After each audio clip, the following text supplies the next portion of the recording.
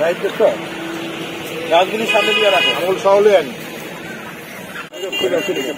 ব্যানারটা কই? ব্যানারটা? ব্যানারটা দে। এই যে এখন ঠিক আছে। বুঝতে গেল কাজ করছ। না ভালো করতে পারবে কাসারে দিতেছি ইমনও মা হলে ইমন ইমন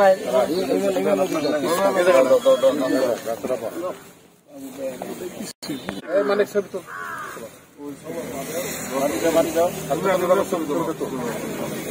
করতে পারে সেই তৌফিক আপনি দিয়ে দিন।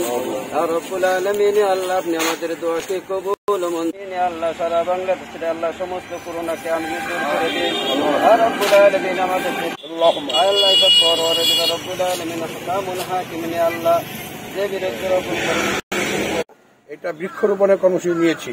আপনারা নিশ্চয় অবগত আছেন, আমাদের মহান স্বাধীনতার ঘোষক শহীদ রাষ্ট্রপতি জিয়া রহমান সারা বাংলাদেশে নিম গাছের যে পরিচালন চালু করে দিয়েছেন, বৃক্ষরোপণ, যে নিম গাছ এখন আমরা সৌদি আরব সবচেয়ে বাংলাদেশে ওই আরাফাত ময়দানে, ওইখানে নিম গাছের, সেখানে প্রতি জায়গায়, আরাফাত ময়দানের সব জায়গায় নিম গাছ, সেখানে জিয়া টি বলে সেই ক্ষেত্রে আমরাও তারই ধারাবাহিকভাবে আজকে বৃক্ষরোপণের কর্মসূচি নিয়েছি, নিম গাছ সহ অন্য অন্য গাছ আমরা লাগাচ্ছি এবং শুধু আমরা না, সারা বাংলাদেশের বিএনপি নেতা কর্মীরা আজকে এই করোনাকালীন সময়ে আমাদের এই কর্মসূচি চলবে ধারাবাহিকভাবে এবং আমরা আগামীতে ইনশাল্লাহ করোনা যারা আক্রান্ত, যারা গরিব দুঃখী এবং দুঃখীদের মাঝে আমরা আমাদের পর্যাপ্ত পরিমাণে সহযোগিতা করে চালিয়ে যাচ্ছি এবং আপনারা নিশ্চয় অবগত আছেন, সারা বাংলাদেশে হেলথ কমপ্লেক্স যেটা আছে, এটা আমাদের ডান দিকে ডাক্তার জাহিদ আছেন সব জায়গায় আছে, এখানেও হবে এবং ইনশাল্লাহ আমাদের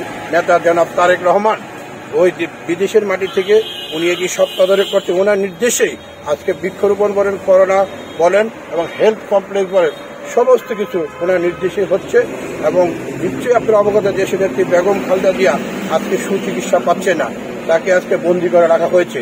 আমরা এই বিএনপি যারা করি, সবার প্রতি আহ্বান, এই ফেসিবাদের বিরুদ্ধে চরম আন্দোলন সংগ্রাম গড়ে তুলতে হবে। সেই জন্য আমাদের আন্দোলন সংগ্রামের জন্য সবার প্রস্তুত থাকতে হবে।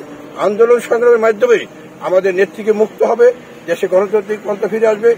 নির্বাচনের পদ্ধতিও ফিরে আসবে। এটাই হোক আজকে আমাদের অঙ্গীকার। সবাইকে সবাইকে ধন্যবাদ।